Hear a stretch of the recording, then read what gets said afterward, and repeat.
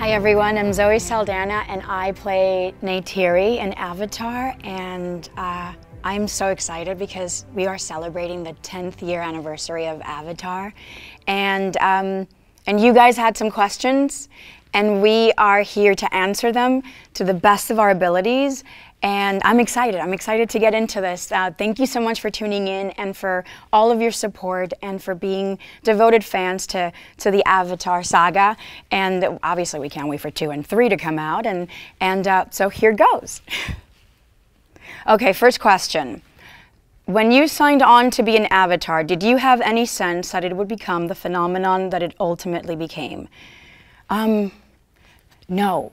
I, I was just excited to be working with my idol, James Cameron, and to be playing this, this amazing alien jungle princess uh, that didn't really understand what it meant to, to, to lie and all those things. Like, I was just always so curious and, and diving into my character. I had great hopes for the movie because it felt special from the beginning, but for it to have had the impact that it had uh, globally was uh, it exceeded any expectations that I had, and I'm pretty sure that a lot of my cast members and uh, and the crew, you know, can familiarize with that because it was just it was unimaginable and it was a dream come true.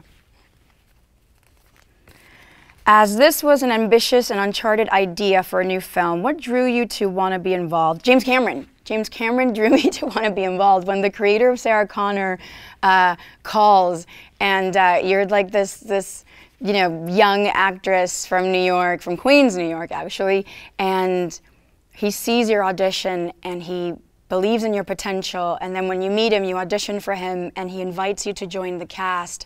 Uh, that was the reason as to why I wanted to do it. I feel like if he tells me to jump, I do jump. And not because he's like this big, big director, but because he's such an exceptional human being and the most generous and amazing director I've worked with.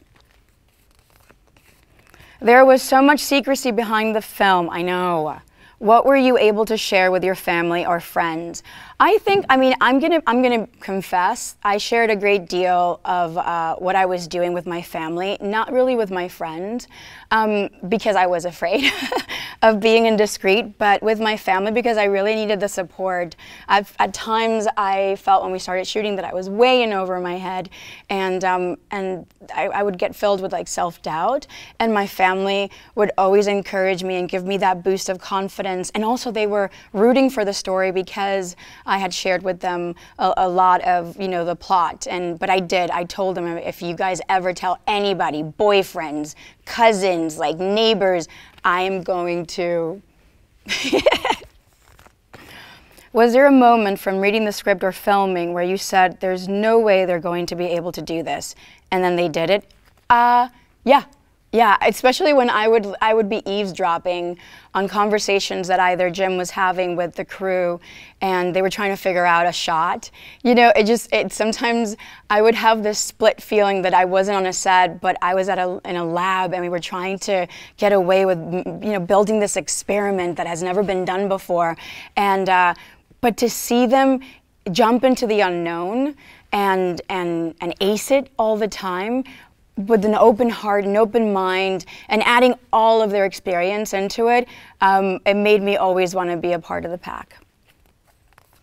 What kind of training did you have to do for the part? Ooh, everything. It was, uh, you know, from learning to dehumanize myself, any kind of human pattern of, of characteristics that humans do, like nodding your face, you know, nodding your head when you, to say yes or shaking it to say no, all those things the Na'vi don't do. Um, so there was a lot of work, a lot of body work, and a lot of behavioral uh, work that I had to do.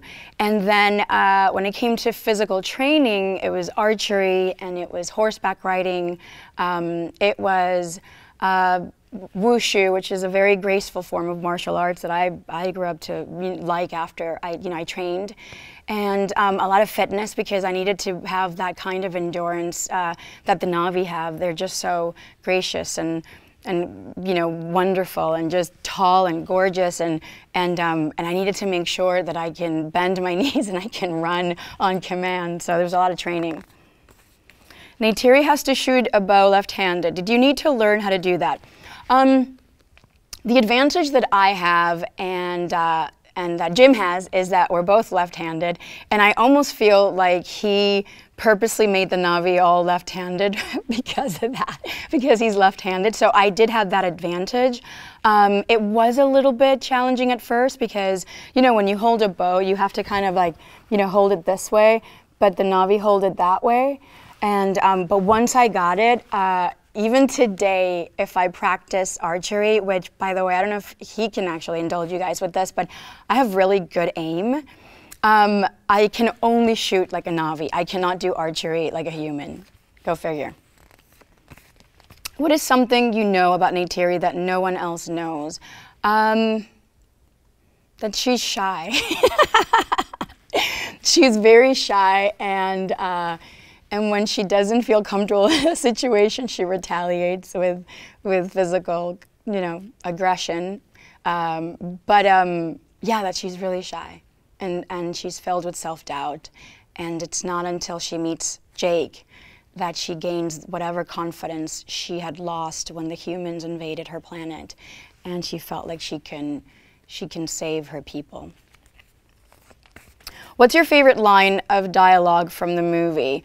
I think it's not really a favorite line. I've, obviously, I see you um, is, uh, is such a powerful uh, phrase for us, and it means a lot. And uh, but to me, it was a it was a word that Jim came up with to call Jake names. Like when Neytiri was calling him names, like "Oh my God, you dummy" or something, and it's called "skxawng." And um, I we used to say it all the time, still do. Do you speak Na'vi fluently? How hard was it to, uh, to learn the language? Um, I, you know, I'm a little, I'm, I need a little more classes now. But back then, uh, when I learned it, it was amazing. And um, I would practice it day and night. I loved the way it sounded. Because Spanish is my first language, a lot of the vowels were very similar to the way the Na'vi uh, you know, use their, their language. So I used that to my advantage, and um, I loved speaking Na'vi. What was it like the first time you saw Neytiri in her final form on screen? I, am going to I'm gonna share with you two experiences with that. The very first time I saw Neytiri, um, it was in, she was in Jim's office and she was a sculpture of maybe two feet high and she was sitting on his, uh, she was standing on his coffee table. And I remember I was sitting in the waiting room waiting for Jim and he came over and shook my hand and he said, are you ready to meet your to meet yourself.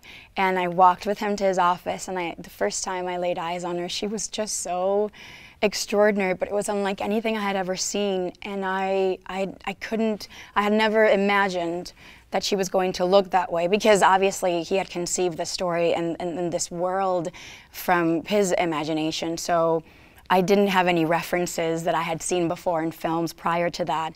And so it was very much a blank canvas when I walked into the office and it was amazing.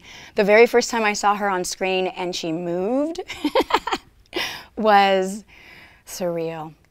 I just kept pinching myself because I just didn't, I just couldn't believe that, I don't know, a, a brown girl from Queens, New York, that's Latina, you know, would get to work with someone like James Cameron and, and, uh, and he was giving me the right, you know, to incarnate this woman um, that I just completely became enamored with.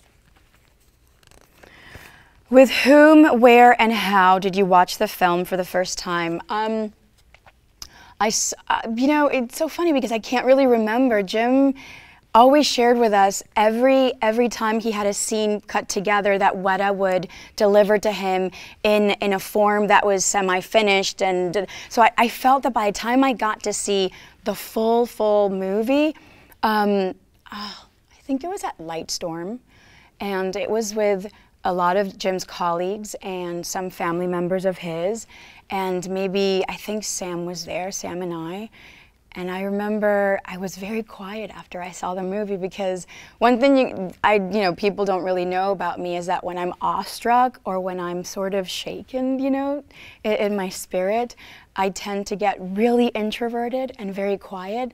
And Jim took it as uh, as as a bad thing. And he sent me this email the next day like oh what happened? Are you not happy? Like is is is there something wrong? And and then obviously I spilled my guts in this email to him uh, of, of things that I was unable to say in person because I needed to digest just the wonderful thing that that, that the vision the wonderful vision that my eyes had sort of witnessed you know?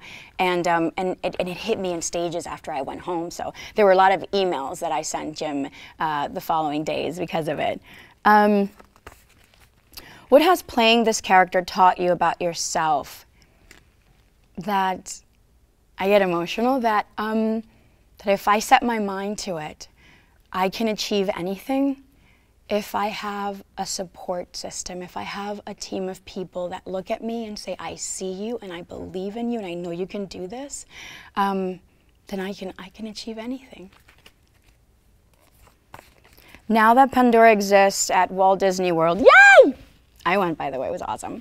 Um, what was it like experiencing that world for the very first time in real life? It was exciting, it was youthful, it, it was giddy. Um, I also got to share it with my sisters and, and um, because they traveled with me to Florida to go experience the world of Pandora and to get on the ride as well. And, and that, was, that was magical. 10 years later, why do you think Avatar continues to have lasting resonance around the world? It's a story that um, reflects a lot of events uh, that we, we have lived through as a human society.